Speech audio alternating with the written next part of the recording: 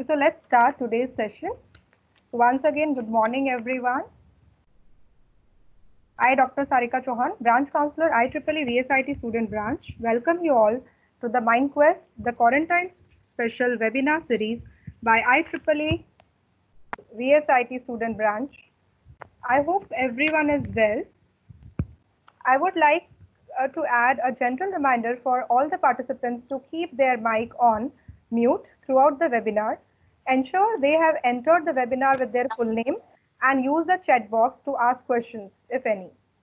Today's webinar on AI and ML introduction, use cases, applications will be delivered by Mr. Abhay Phansikar, the Director, Strategy, Agile Technologies and Chairperson, IEEE Bombay Section. He holds 30 years of experience in product development, embedded solutions, technical marketing, and turnkey offerings. He has worked with India's top listed organizations for over 25 years from technology base to strategic business unit head involved in their growth. For a $150 million education solutions company, he set up international operations that grew from zero to $7.5 million in a year. He has been a director, president, CEO, and chief technical architect in Indian as well as international organizations. Systems developed by him include mission critical military grade systems, air traffic controller simulator, and radar traffic tracking systems. His interests are in providing strategic directions to startups and growing organizations. So we are glad to have you for today's session. Uh, now I kindly request sir to take the session forward. And I again, once again request all the participants to please uh, keep yourself on mute throughout the session. If any questions, you can just type it, type in in the chat box.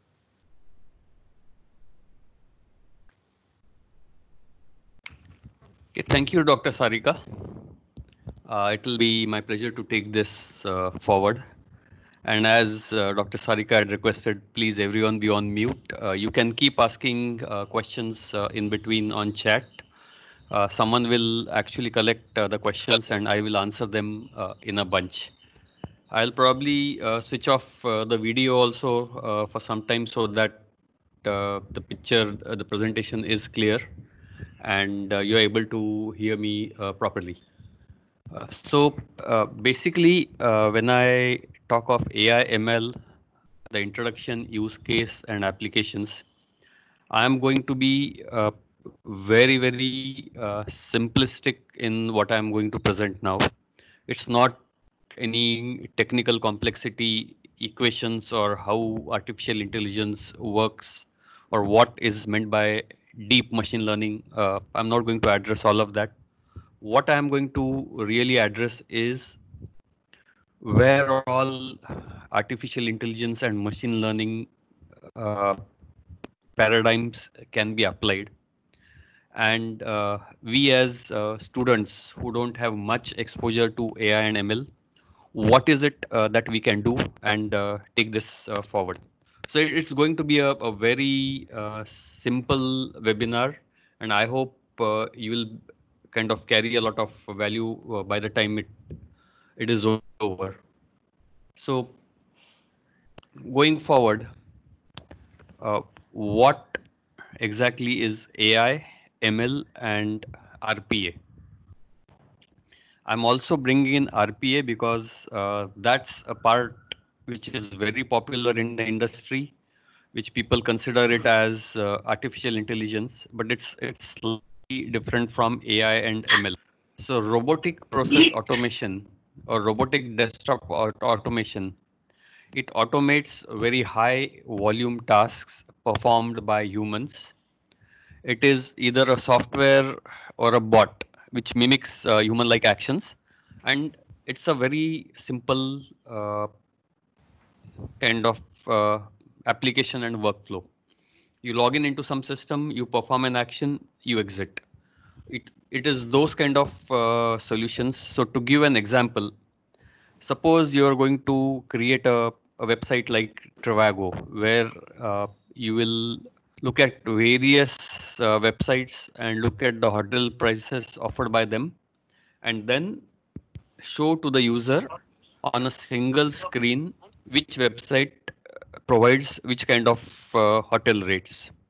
Now to do that, you will have to get the data from those various websites.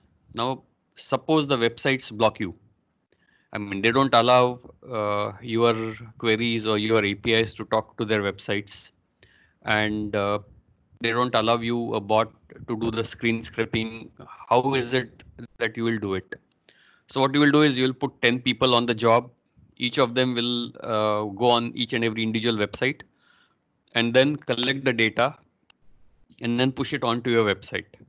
Now this is a human repeatable task. To automate this, what what can be done is you will write a small robotic process automation where from your browser you will go on to these websites. You will take an image of uh, those web pages and then you will derive value from those web pages like the hotel rate. Because your software has no permission to talk to those websites directly. So that is a kind of task which rpa does. Or another task is uh, say a mediclaim uh, insurance kind of company which gets a single branch gets about 3000 claims in a day.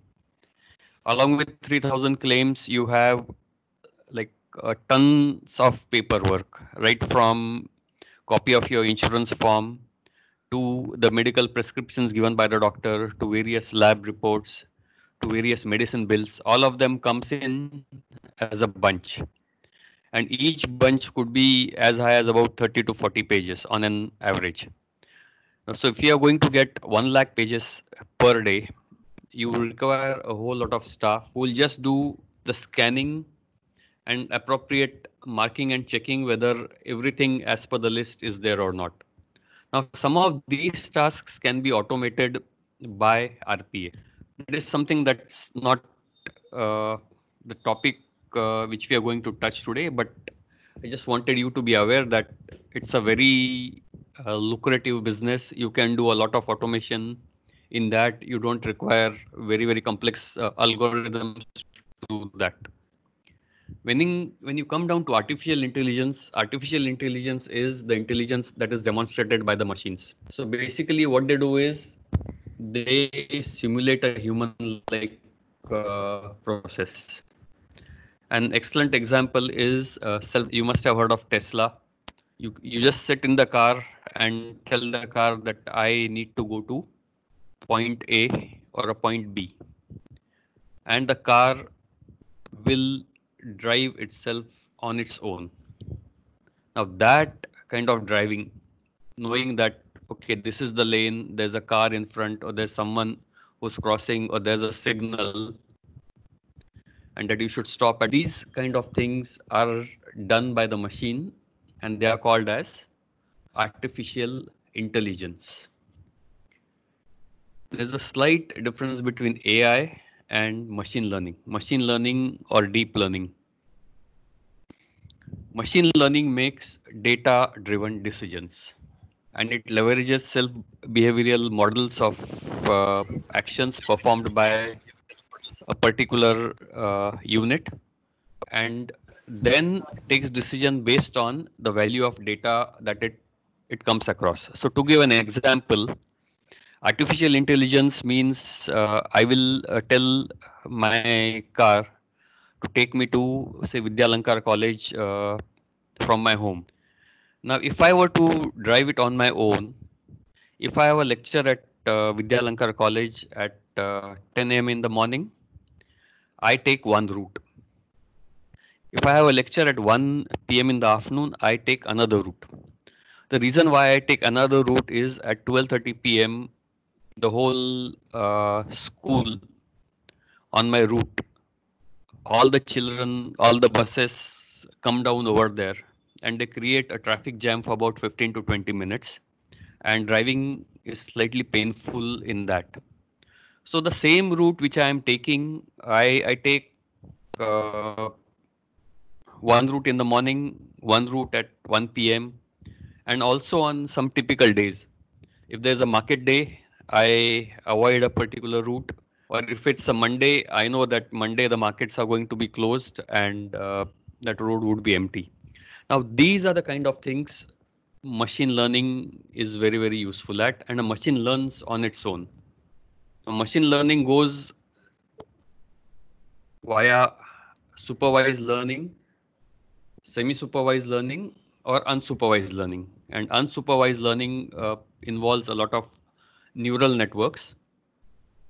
And using them in a recurrent manner is called as deep learning.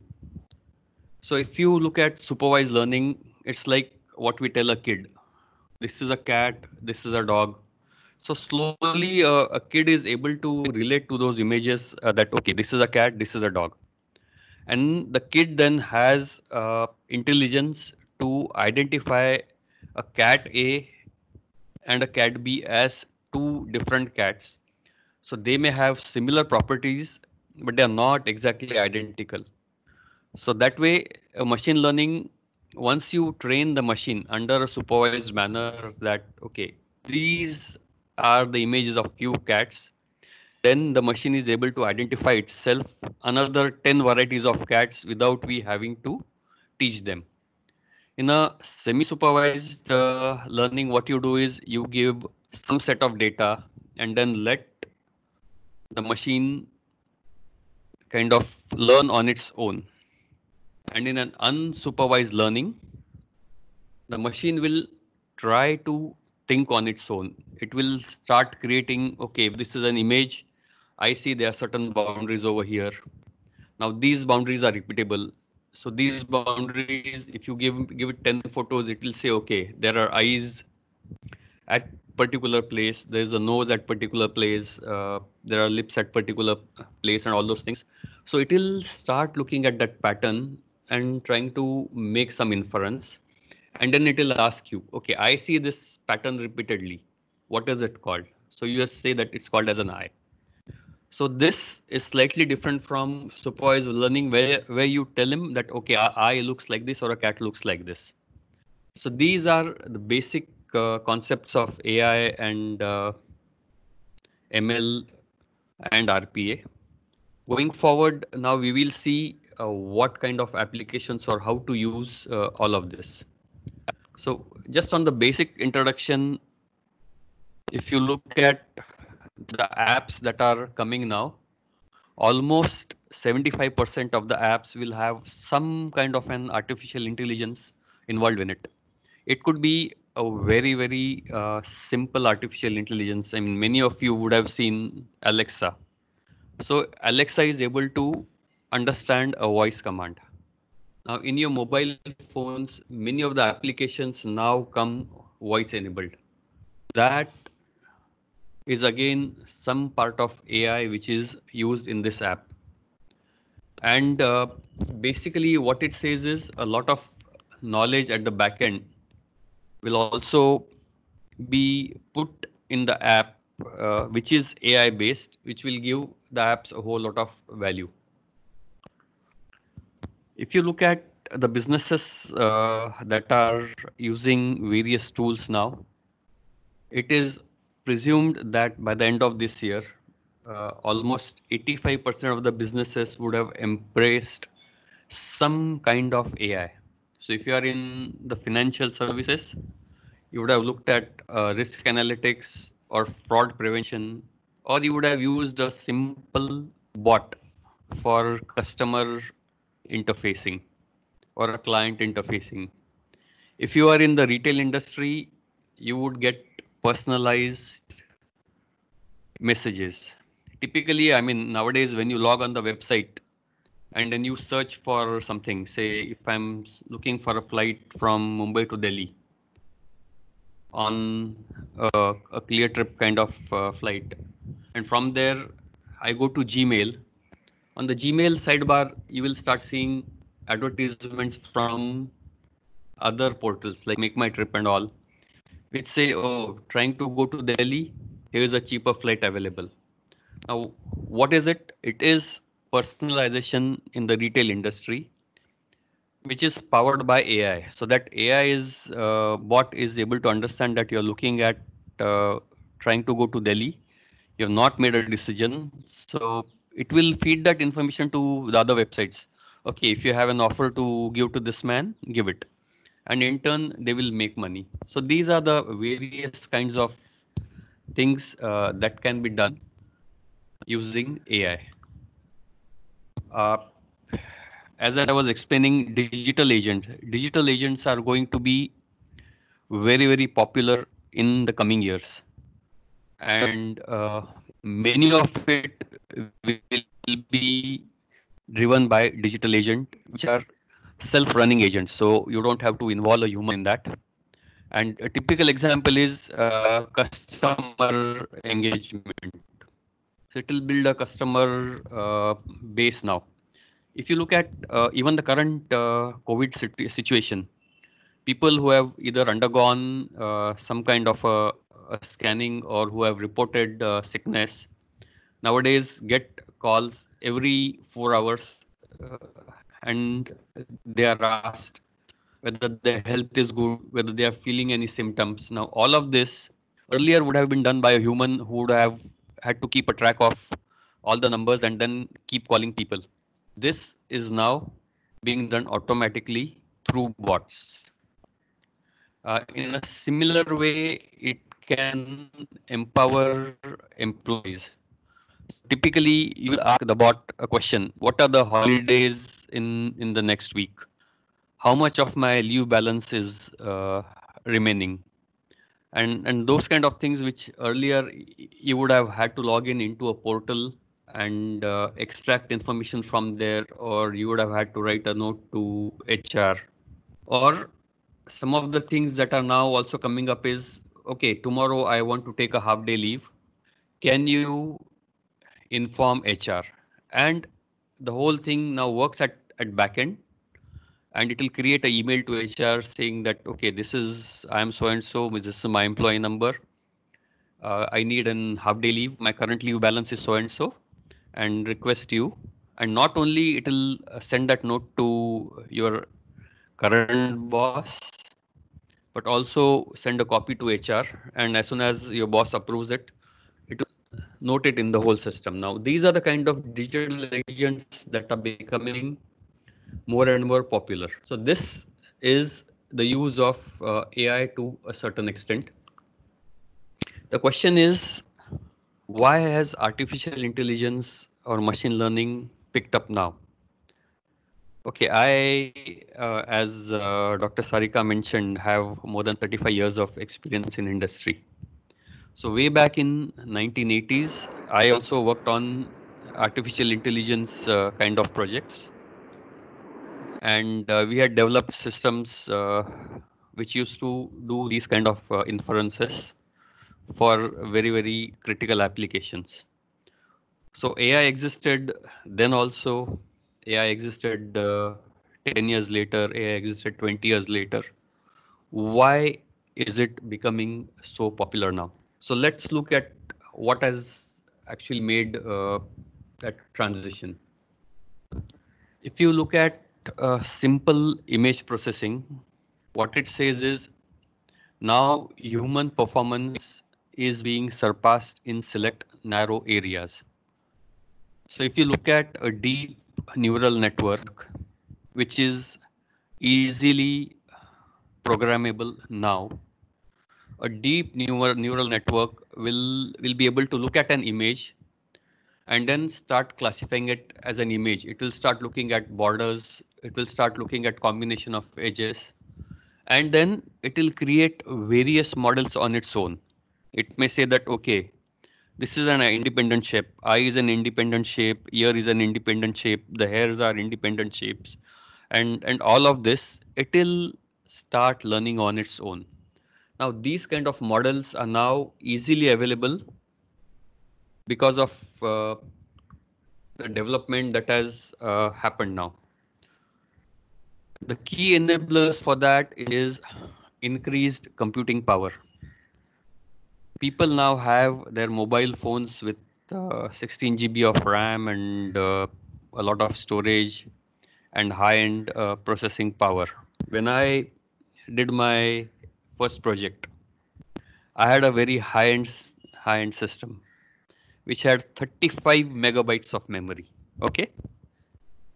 35 megabytes as compared to uh, 16 gigabytes, gigabytes now. It had one megabit of RAM. And the first artificial intelligence uh, system that we developed, we took almost two years to develop it with a whole lot of hardware. So we had built customized hardware. Uh, we had put in 13 processors into the system, 13 microprocessors, uh, doing a lot of number crunching into the system. We had written our own operating system because we did not want any, any overheads uh, in the system. And all of it uh, we had to do on our own. And it took a whole lot of time. Now, all of this now is available for you in your laptop. You have increased computing power. Secondly is you now have a whole lot of data which is available for you to train. If you want to say that, okay, I need to find if this person has TB, so I need to have an access to say 10,000 X-rays, which say that, okay, this is a clear lung, this lung is slightly damaged, and this lung is advanced form of TB. Now, all of this data sets, which were very, very confidential earlier are now available in public for training. So you will be able to create your own models for artificial intelligence. You will be able to feed them data. If you want to put in an image of a cat, you will get thousands images of cats. And once you give that kind of data to your uh, system, the system will will be able to identify all the new images with a great amount of accuracy. Thirdly, there has been a lot of uh, advancement in the algorithms. The algorithms which uh, required huge amount of programming earlier. Like if I had to do matrix inverse in the kind of system that I was uh, talking of with very less RAM and very small hard disk, what I had to do is I would do one transformation and push all that data onto the hard disk because the memory was not there then pick up certain fields, then do the next transformation. And there was a lot of to and fro that used to happen. And this used to take a whole lot of time. Now you'll be able to do matrix inverse as a single line command in Python. So Python is a language which has brought in a whole lot of advantage and a great amount of ease to doing machine learning artificial intelligence applications. The fourth thing that is there is connectivity. So if you are doing parallel processing, you could connect multiple computers amongst your network. You, your friends, and then you could run independent models on, on their machines and then combine the data and come up with an artificial intelligence uh, solution. So a whole lot of things are possible because of whatever is available.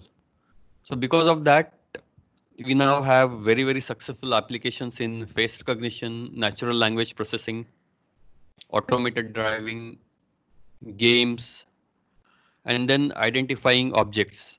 So like if you are taking photographs of a certain area. So some of the applications that we have done is uh, there are people who who kind of say that uh, my field got uh, damaged because of flood and i had so much of crop which was standing over there and i lost it so the government should compensate. Or someone said that says that i have uh, agriculture income. My total bank uh, income shows say about uh, 50 lakhs this year and out of that 40 lakhs has come in due to agriculture. And so that is not taxable. Now what we are able to do is we are now able to take satellite images pinpointing to that particular GPS location. And if we take the images for the past one month the satellites are, are kind of circling all over the country. They're able to uh, they are actually capturing geospatial data of almost everything. Even google earth is uh, doing that. So you can look at those images, process those images, and guaranteedly say that, okay, the crop you have is only this much. This would not have fetched more than 10 lakhs. So you are declaring a false income, or or you can say that you had not sown anything in this field. This field has been nothing sown in the past two years. Just because flood has come and government is coming up with a scheme.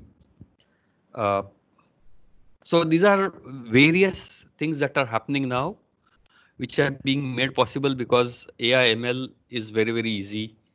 Uh, you have got uh, associated drone technology or you have got uh, public images, even satellite images, you can uh, de declassified images, you can source them. All of that is uh, very easily available. So that will give you a, a great advantage in in creating uh, AI applications.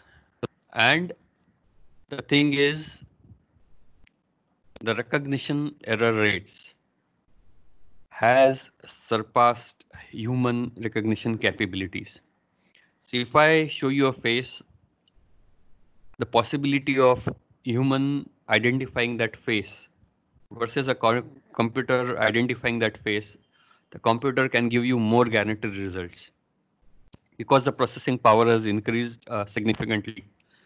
And humans still will depend on some kind of uh, memory in the cells, uh, which may or may not be active at a particular uh, point in time, or because of uh, loss in vision or eyesight or some perception of colors, uh, things might change and they may not be able to identify particular images with guaranteed performance. So all of this now has resulted in a lot of tools that are available to build solutions. So increase computer power, availability of uh, public data for uh, validating your models, the algorithm advancements and the connectivity plus the accuracy which uh, with these models work.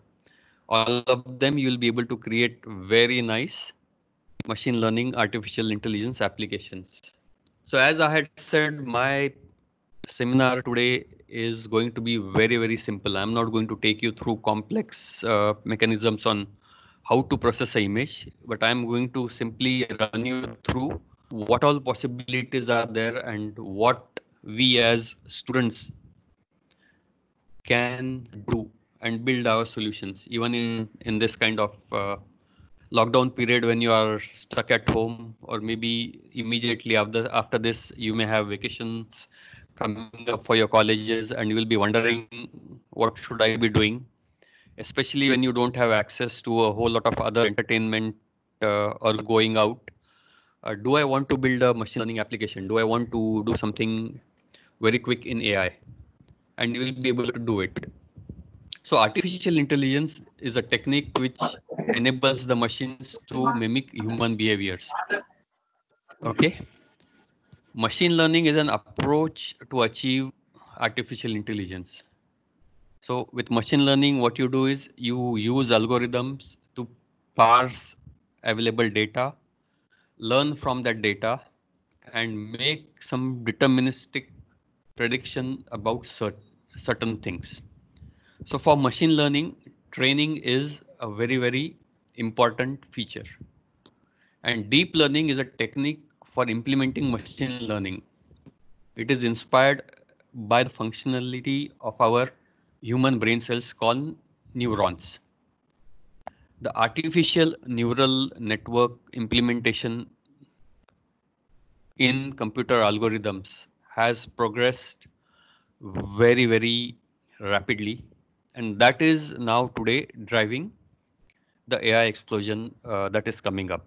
So if you learn, say, a simple thing like uh, Python, if you understand how to use uh, some bits of data sets that are publicly available, if you look at certain algorithms uh, that are publicly available, you can quickly create your own artificial intelligence application without having to worry too much about, oh, will I be able to understand it? Do I know? Is it very complex? Can I learn it? All those questions uh, will go away when you look at uh, whatever is available on the net today. So if you look at the industries uh, where artificial intelligence can be applied, I mean, almost all the in industries uh, it can be applied, right? From consumer to health, finance, retail, government, oil and gas, transport. So some of the things uh, that uh, students have implemented uh, in these industries. So like in the consumer industry, they have implemented chatbots or personalization. You're able to get an offer when you're walking in a particular uh, city or a particular part of the city. If you like uh, typically uh, a Goli Vada Pav or a McDonald's, if you are very close to a McDonald's, you'll get a message. Oh, here's the McDonald's you love. Uh, do you want to go quickly? And if you go in now, within next 15 minutes of receiving the SMS, you could get a 20% discount. Now, all of these are, are possible uh, with uh, chatbots and personalization. In the healthcare, they are doing a lot of uh, diagnosis uh, automatically. They're able to scan your uh, body temperature. They're able to relate to your earlier uh, database on if, if you had these kind of temperatures and fevers in these kind of months in the past years what is the likelihood? Is it just a, a flu or is it something serious?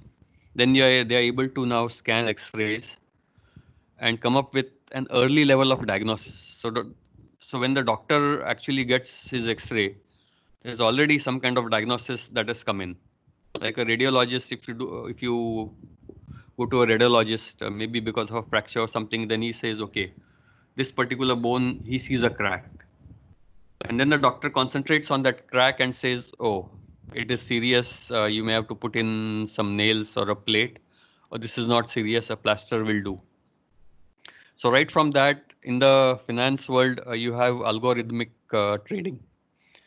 So your computer logs in onto uh, the share market looks at the fluctuations uh, in the share price and then on its own decides okay there's a, a price that's falling so let me say, uh, sell the shares. Or this this share is uh, kind of going upwards. Let me buy it and then in the next two three minutes i'll buy it right now and in the next two three minutes when the price goes up by say another x rupees i'll sell it now humanly this is not possible as a human for you to do these transactions even if you're monitoring that share for you to log in onto the keyboard, uh, type in that uh, those share details, uh, put in your price, and when it comes in into your account, then again go to uh, sell mode and try to sell. The amount of time you will take is far more than what a AI tool will be able to do it. So these kind of things are available uh, all across the industries. And now what I'm going to tell you is how to go about or what's important in developing an AI application. So basically, if you want to build an AI product, you first of all need to have a definition. What is it that you're trying to build? So if you don't have a problem statement, you analyze the business process and identify areas where human behavior can be augmented in decision making or reduce manual labor. So like if, if you go to a, a person who's trading trading in shares, can you actually make a system for him which tells him which are the fastest five uh, fluctuating shares uh, in today's market. And then can you put it a, a, window on his computer to the side? So he's able to kind of track it and then say oh fine these five shares are moving fast and let me uh, then concentrate on one and do and do something. So these are the kind of things uh, that you will have to first of all understand what is a problem that needs to be solved. So once you identify the problem, then what you do is you acquire data for that. So if you say you want to track the five shares, then how are you going to do it? Which means you have to get the data of all the stocks that's coming now that is very easily available from the stock market on your computer or on if you go go to your yahoo or google uh, websites you can have apis you can through them you can collect the data and then form your model so once you acquire the data you got to prepare the data that means you have to segregate the data in in a way which your algorithms can understand. Once you have segregated the data, you do feature engineering, which means what is the feature that you want to extract from the data. So the first is you get the data of the stocks. So 20 stocks, if you want to track, you get the data of 20 stocks. Then you prepare the data. I Means along with the stocks, you'll have so much of information you ignore. What you're going to look at is the time and the price and the previous time and the previous time price or or some sequence of uh, price. That's all you're going to look at. Then feature engineering means you're just going to look at price fluctuation during the day and create a graph. So once you have identified this, then you will model it. Model means you will put some equation around that, which means so if, if you look at simply look at uh, the price uh, during the day, you will say, okay, if, if the previous price is lower than uh, the current price, it means the stock is rising. So you keep the bar as green. If the current price is lower than the previous price, you change the bar as red. And then you keep another bar. How much time has the bar remained green and how much time has the bar remained red? So that way you are you will visualize that data. So that's modeling. Then you have evaluation and interpretation. So either the model you're going to show to a, a person who is dealing in stocks or you are going to say that okay i will interpret my model so if i feel that the bar is remaining green for a much longer period of time that means the possibility of that share rising today is is high and i should buy the share and probably sell it after 5 minutes or 7 once you have that the next step is optimization. So once you start buying shares and selling after five minutes, then you enhance your model. You say, I mean, is five minutes the right time to hold it? Should I sell it in three minutes? Should I sell it in seven minutes? Do I look the fluctuation? Do I create a curve? Do I create a graph? All of that will become a part of optimization. So it's it's it's very simple. Uh, you will have to look at data, prepare the data, identify some feature, model it, evaluate and interpret, and optimize uh, going forward if you want to bring uh, bring build in some serious stuff. So that that's the way you will be able to build a AI based system. Uh, few things about data. Data is the closest association with the activity. And if you have uh, better data, it will perform well and nicely than a huge amount of, I mean, low quality data. So data becomes uh, very, very important in this. I'll not spend too much time on that. Now I'll go to the artificial intelligence techniques that you can look at and then identify which field you want to work in. So you have artificial intelligence uh, techniques which are conversational AI. So the Alexa uh, kind of thing based on that you can make uh, various uh, chatbot applications you can make uh, employee efficiency applications you can uh, create say leave application applications. You can create seat booking applications. You can create employee feedback applications. So every time uh, in some of the international airports you use a toilet when it comes out when you come out you say good not good happy about your experience uh, in that toilet. That itself it will it will kind of uh, keep tracking that input and say that from this point to uh, this time to this time uh, the toilet was probably not clean or there was too much load in and and all of that analysis it can be done so that's conversational ai natural language processing is you identify certain statements and create inferences out of it. So if I'm doing a survey, at the end of this lecture, if I ask you five questions, rate me uh, between one and three, how you liked my lecture. Was it good? Was the content good? Did I speak well? Now, all of this are very, very specific numerical things. And if I average it out, I'll know, okay, I spoke very well, or my content was uh, very low, or my content was very complex, all of it. But if I ask you to write a statement, say that, uh, how did you feel about my lecture? Write, write two lines on that. Then it is very difficult for me to read all the 250 comments and infer something out of it. Now, natural language processing will parse all of these uh, statements in one go and say that okay these people are uh, many people have rated you good some people have uh, rated you bad. Some people have written sarcastic comments. Oh he thinks he's an expert in ai but doesn't know anything. All of this can be done in natural language processing if you look at computer vision computer vision has again immense applications you can take a drone and then you can do an analysis of all the bridge so suppose you're looking at Vashi bridge today if i have to go to each and every truss on that and see uh, whether there are any cracks gone or not. I'm spending almost a few people over a year going from one end of the bridge to another end of the bridge because they have to climb up, look at each and every bar, and then make notes and come out. With a drone, you will be able to navigate it across all all of that in in like in a, in a week week time. And then you can write your own applications to analyze uh, the data. Computer vision has a lot of uh, applications. One of the things uh, which i uh, got done with the students was a simple attendance.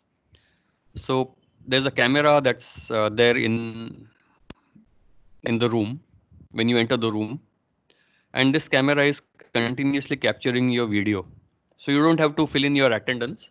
After your lecture is over, it may take a bit of a time to processing. So it's not doing processing online, maybe slightly offline, but it will say that, okay, these all students are present because it is very, very easy now to assess and evaluate images.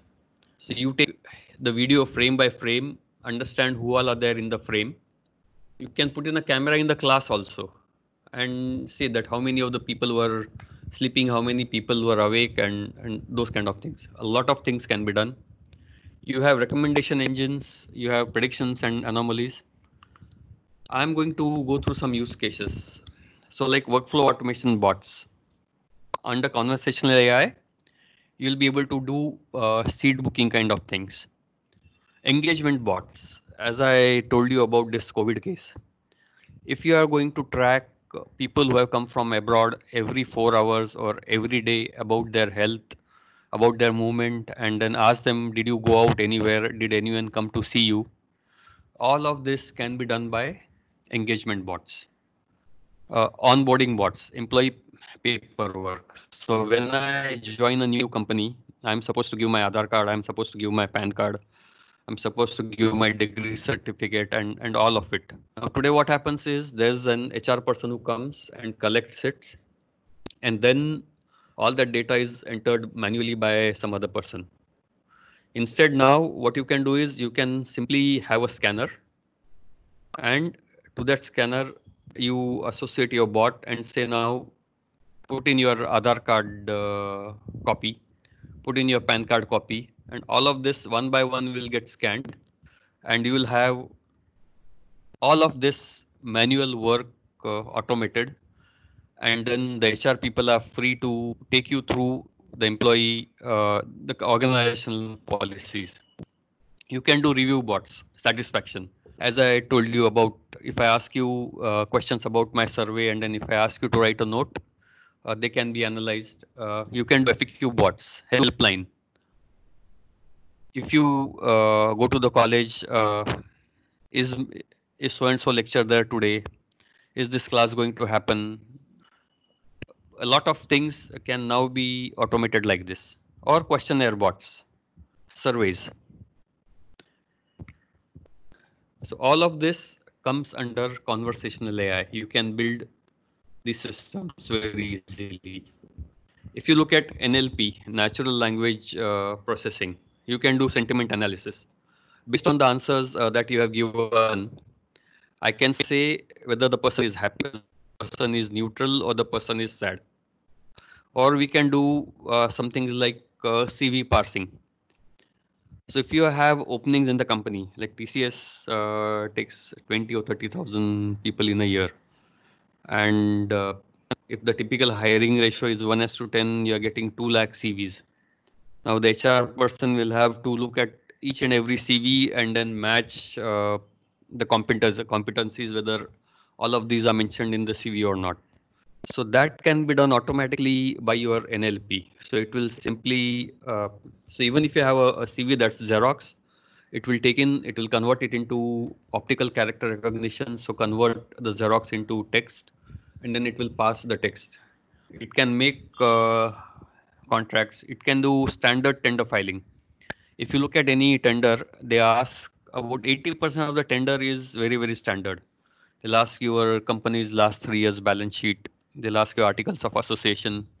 They'll ask uh, references of last five customers. They'll ask your last five orders above so and so amount and, and all of this.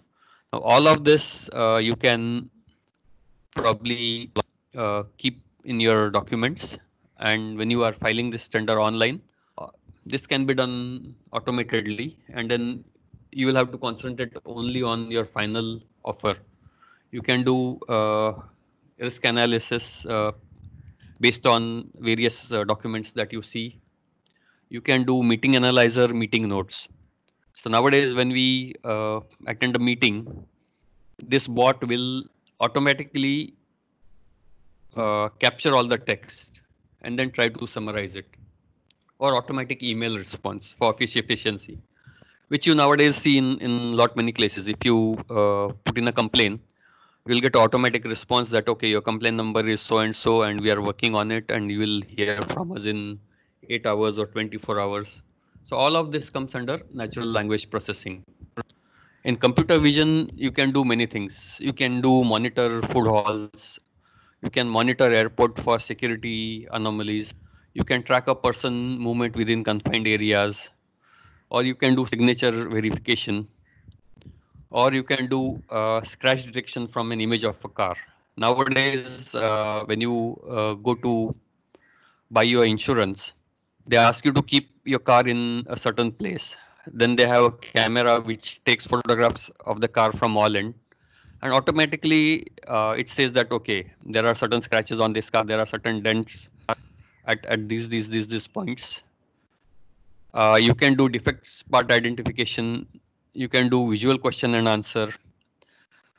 You can do number plate detection. That that you must have uh, known now that whenever you jump a signal uh, photograph is taken and automatically number plate is uh, kind of read from that your records are linked and you will either get an SMS or your insurance company will be told that, okay, this person is uh, jumping signals very often. He is a potential risk for accidents.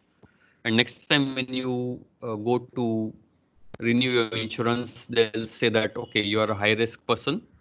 Uh, we want to uh, kind of increase your premium. The other computer vision things I told you is like automatic attendance in the classroom or analysis of uh, a bridge or analysis of a building. Nowadays, uh, in Mumbai, there are a lot of buildings which have to undergo uh, structural analysis. So what you can do is you can create an application which will take photographs of uh, all the parts of the building and then analyze those photographs and, and create a report and give it to a structural analysis. Then he'll look at the very uh, the specific cracks or something which you feel are need attention and then uh, they'll be able to produce things faster recommendation engines Loca- location based uh, recommendation engines like uh, this hotel is close to you or you like uh, to see old engines there's an railway museum here. All of these can come in. Image based uh, recommendations your insurance uh, premium. As i told you if you're jumping too many signals or uh, if you're driving uh, very bad all of this gets uh, recorded now. Uh, insurance policy mutual fund recommendations. So based on your lifestyle and analysis of that they'll suggest you what policy to go on session based recommendations. So typically, uh, I mean, I, I have reached an airport, I have finished my work. and I have booked for a flight which is uh, six o'clock in the evening. I do a lot of international travel, so that's why I have put. Uh, so I, I go to the counter and ask them, like I'm in Zurich or I'm in transiting. I say I have a visa. I can go out in the city, but I want to spend only this much amount. Which are the places uh, you suggest me that I go and see, so that I get a feel of that city. I am not forced to kill time at the airport. And uh, these people are able to give me something which is of value. So they'll ask you what do you like? Do you like shopping? Do you like clothing? Or do you like to see museums? Do you like to see uh, some play? Do you like to see history? And then they will uh, form a small tour for you saying that you go from this point to this point to this point you take a bus over here and then come back. Uh, or you can also get uh, personalized uh, recommendations. So typically when I'm traveling and I'm a vegetarian, I love Indian food. In any odd location across the globe, uh, this engine will tell you tell me that oh there is a Indian restaurant at uh, five kilometers uh, which has been rated three star, and you could take a bus or you could uh, take an Uber. It will be cheaper at uh, this point of time they also kind of share, tell that you can do an Uber pool now and Uber pool will be cheaper than a bus. All of these recommendations uh, you can build uh, as a part of AI. Then predictions and uh, anomalies. It will uh, predict whether your loan eligibility is likely to go down. Will you have to pay more premium? Churn prediction. So if you are using a particular uh, say maybe you're watching Netflix, you're watching ZEE5, you're watching Sony, all of them you've subscribed. What are the chances that you're going to renew next month? All of this is possible because uh, you're able to track uh, the usage of uh, that particular channel or you're or basically you're seeing some very very specific serials so if the serial is likely to end there's a good chance that you will not re renew those uh, subscription, subscriptions uh, mobile transaction uh, fraud detection. People do, people keep on changing mobiles. Uh, spam filters, fake review identification. There are, there are, a lot of people who who give uh, references and reviews, which are generally uh, fake, and uh, you can look at the CV written by the person. You can look at the language of the review and you will be able to identify that oh this is uh, fake. Then there's there is predictive maintenance uh, that you can look at.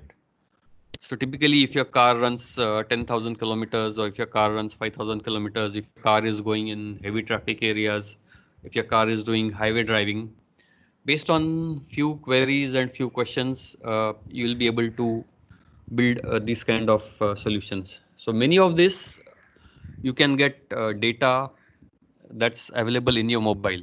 So one example I can say is if you are using your mobile while driving, your mobile actually logs in your data through that accelerometer. So you can retrieve the data from the accelerometer.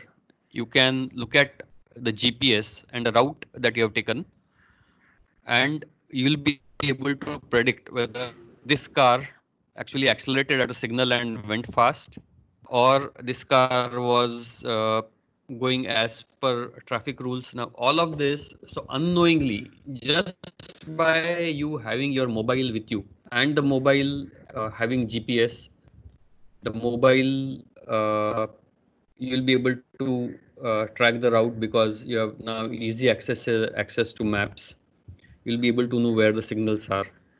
The accelerometer uh, keeps on recording and you have so many apps where you have given rights for everything. You're given rights to a camera, you're given rights to accelerometer, you're given uh, rights to your uh, data, you're given rights to where all of this is easily uh, available uh, from your mobile. certain things that you can also do is just parse the SMS uh, of your mobile. If I parse the SMS, uh, I know what kind of credit card transactions I have done. whether I have been uh, shopping at grocery store, whether I have been shopping at some stores, or whether I'm spending at a restaurant, whether I'm having uh, drinks at a, a restaurant, all of this can be found just by analyzing the data, the SMS data that you get. And then every time your salary is credited, there'll be an SMS. Every time the money is debited, uh, maybe your mutual fund premium or, or all of this. So you can understand a lifestyle uh, style of a person that he has so much of EMI payment that's going out every month. Uh, he he spends so much money on restaurant. He is using Uber so many times, and you can create a lifestyle of a person. So all of this now is very very easily possible using AI. Uh, I'm not going to go into more uh, complex solutions, but uh, you could look at healthcare and then do anomaly detection, or you can actually create automatic discharge from the hospital when the doctor says everything is fine. You take various reports from various sections and and do. A lot of uh, things are possible. Matchmaking nowadays, uh, if you go on these uh, Shaadi.com types of uh, portals, uh, based on the interest that you have shown, they automatically show you the kind of profiles uh, that you will like. Or if you are a, a person who's using macbook mac uh, iphone and and all those things uh, you will know that you like apple products. Or if you buy something on amazon if you buy a wireless it will immediately show you that the person who bought a wireless mouse also bought a wireless keyboard of of this model.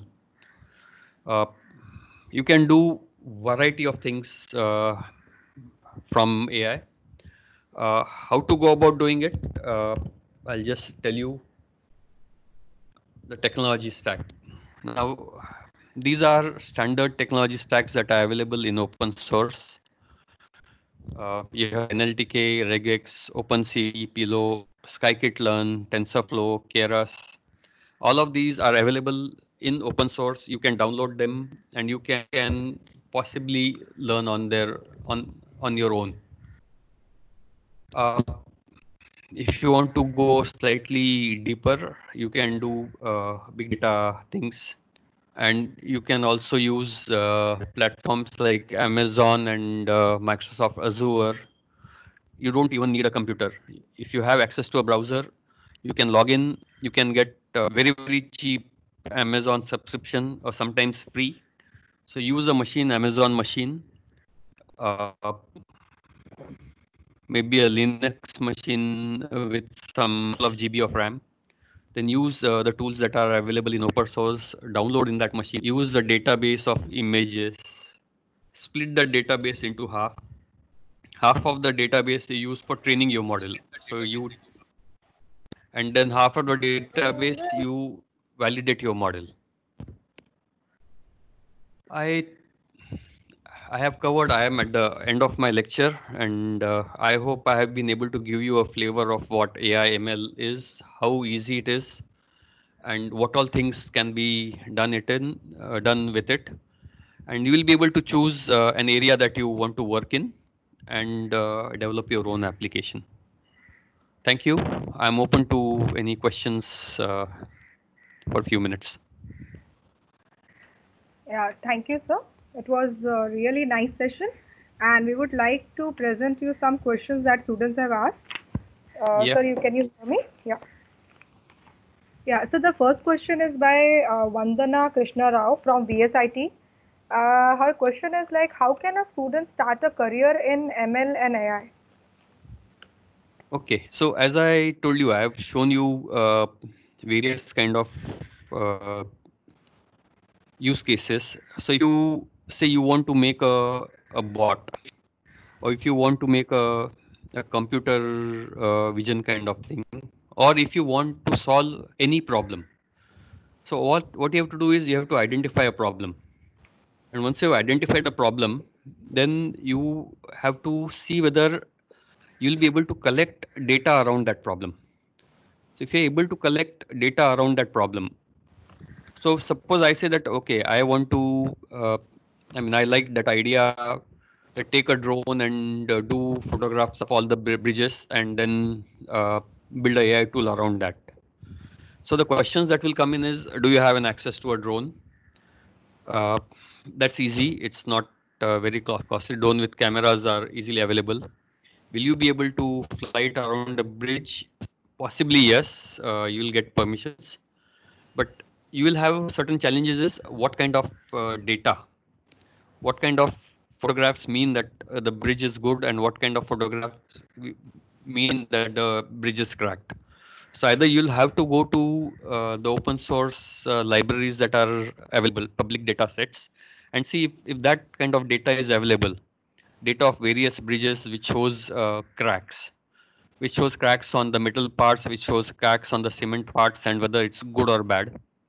And take that data, do some amount of image processing, and say, so use that data to train your system. So that that's the way you can do, or you can simply say, I'll make a conversational bot or I'll make an attendance uh, classroom attendance. Uh, it's the the most simplest thing is to do is to do a classroom attendance. You have you already have a, a set of photographs of your people. Uh, you can put in a camera and then you can ask people to walk in one by one. Uh, the you can then uh, take the camera frames and uh, see which all photos are there and build an attendance system that can be done. So there are many i mean if you you got to look at uh, whether you want to uh, do prediction kind of thing by looking at uh, the sms that come in a mobile. You define a lifestyle of a person if you want to develop that or a conversational bot or image processing.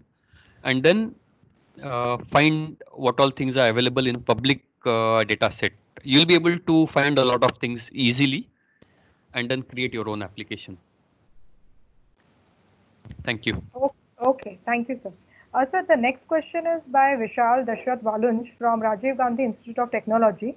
The question is, how do we decide which machine learning program for our problem statement?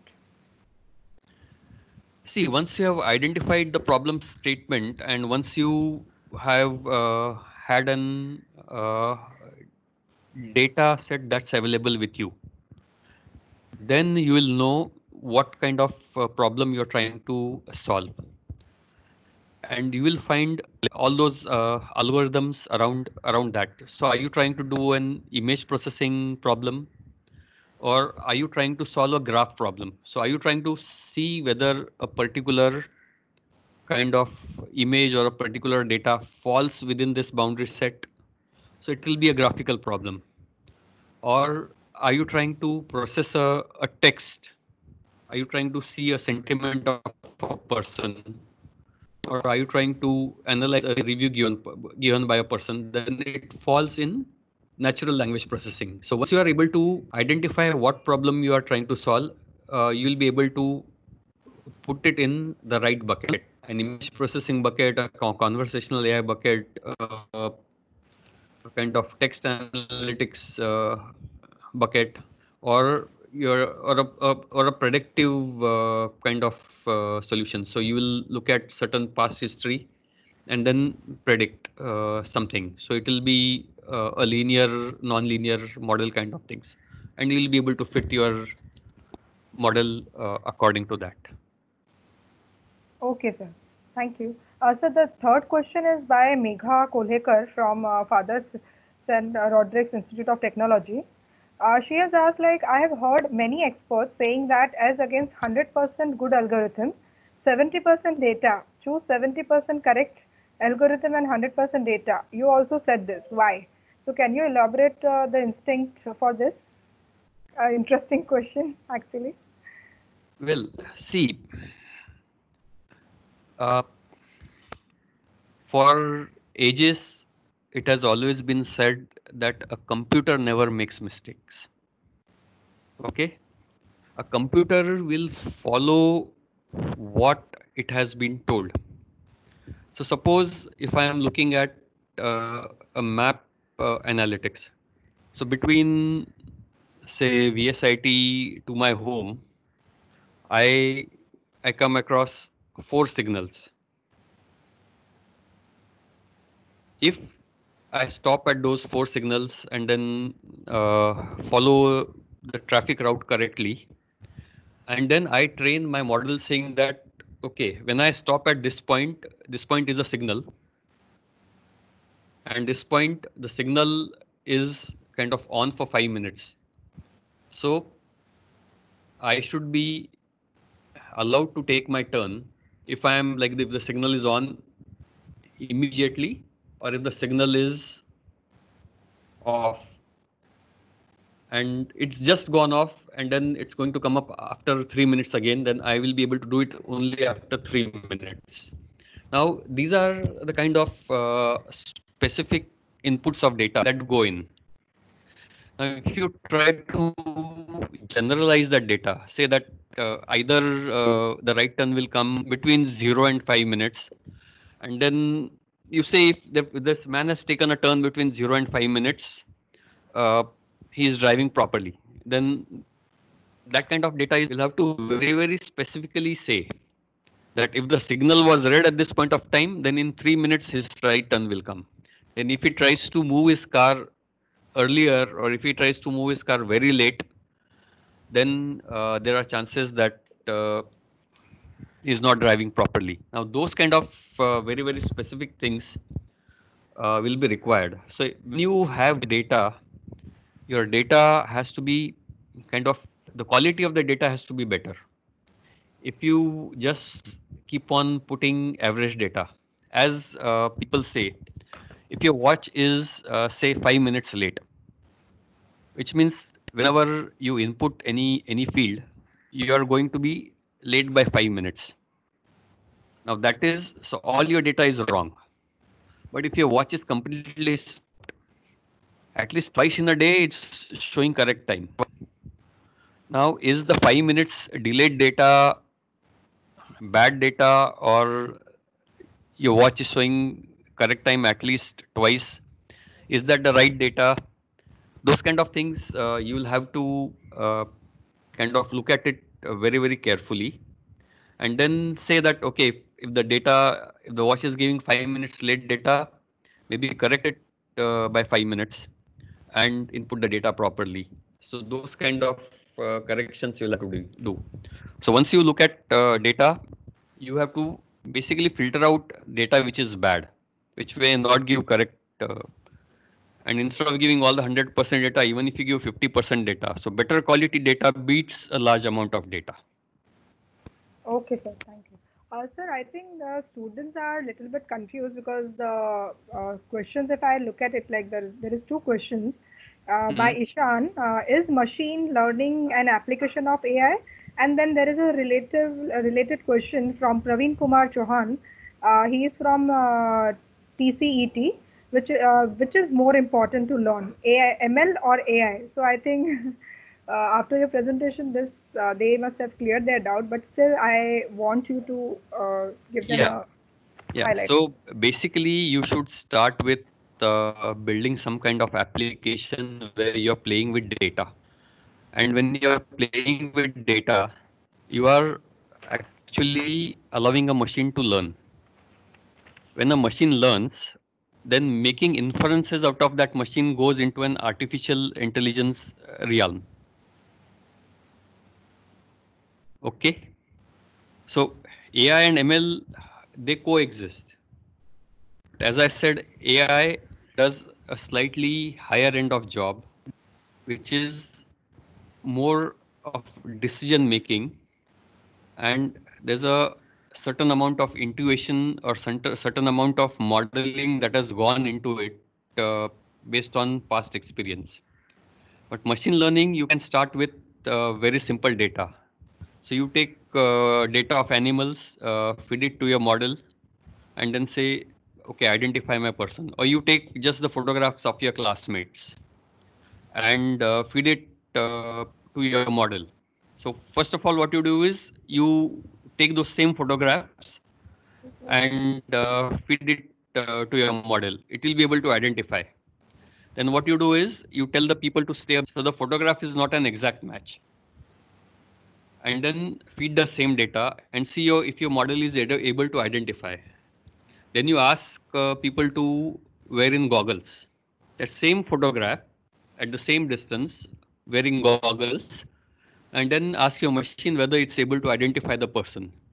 Now, all of this is a part of machine learning, which you should do first. And once your machine is able to learn very well, then you say that given a whole set of people, I'll be able to identify these people with a high amount of accuracy. That becomes more of an artificial intelligence. Okay, sir. So Okay, I yeah. think uh, those were all the questions. Uh, thank you. Now I uh, request Vinayak to present vote of thanks. Uh, over to you, Vinayak. All right. Uh, good afternoon, everyone. I hope I'm audible. Uh, so I'm Vinayak Iyer, the secretary of IEEE VSIT student branch, and I would like to thank uh, Mr. Abhay Phansikar for being a part of the Mind Quench webinar series and explaining the topic so carefully and passionately to all the students. The webinar has taught us about many useful applications of uh, artificial intelligence and machine learning, the importance of making proper use cases so that we can test an application properly uh, to ensure its performance and safety, and the use of this technology so that it serves the best purpose of our future. As students and uh, learners, we will certainly benefit from these learnings. Uh, to all the participants, you should be receiving an email with the feedback link. Uh, so a feedback form. Please fill it uh, and make sure that you fill it by today because upon filling it, you will get your e-certificate within one week. Again, I would like to thank everyone for their active participation. Thank you. Stay home and stay safe. Okay, thank you. Thanks, Vinayak. Uh, thanks, Dr. Sarika. I'm logging off now. Thank you so much, sir.